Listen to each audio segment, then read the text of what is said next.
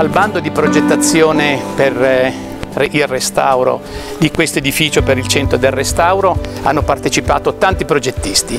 Il bando è stato vinto da un gruppo di progettisti, in parte torinesi, che sono il professor De Rossi e Giorgio Fea, poi ingegneri di Milano, il ricordo Guenzani e anche Boris Podrecca, architetto austriaco. Loro avevano come input il fatto di rispettare al massimo i volumi perché la soprintendenza intendeva che non ci fossero delle situazioni, delle superfettazioni di cemento armato che potessero in qualche modo non essere reversibili nel tempo.